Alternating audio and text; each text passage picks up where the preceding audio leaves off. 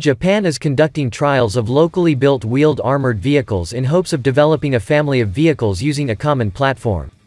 The Defense Ministry confirmed that some photos and videos of the vehicles published on social media last week were prototypes developed under its Common Tactical Wheeled Vehicle program. The ministry also confirmed the vehicles are based on the chassis of the 8-wheel drive Type 16 maneuver combat vehicle built by Mitsubishi Heavy Industries. The platforms include an infantry combat vehicle, a reconnaissance combat vehicle and a motorized mortar vehicle.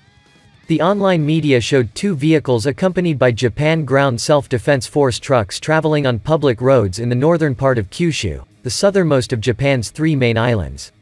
One of these featured a mounted turret with an cannon, believed to be the Bushmaster 30mm automatic weapon based on the weapon's fluted barrel and muzzle brake. Another vehicle had a flat roof over its rear compartment.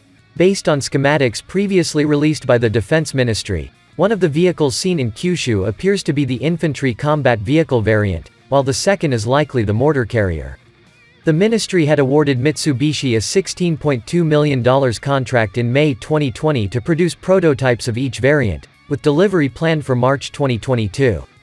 In previously released specifications, the infantry combat vehicle was to be capable of carrying eight dismounted infantrymen along with three crew, while it was reported the mortar variant was to feature a 120mm weapon.